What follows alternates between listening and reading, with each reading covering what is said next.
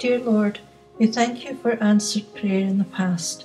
We think of those members of our corps family who need our prayers and your presence at this time.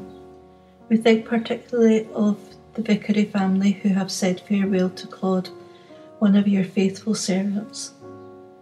We think of the wider corps family and we look forward to the time when we can meet again as we did before.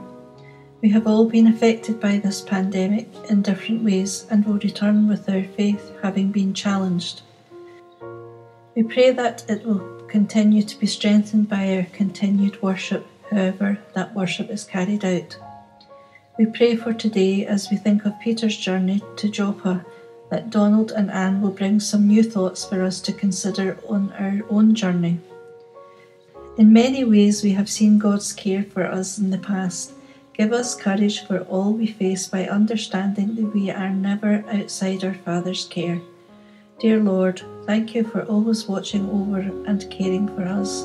Amen.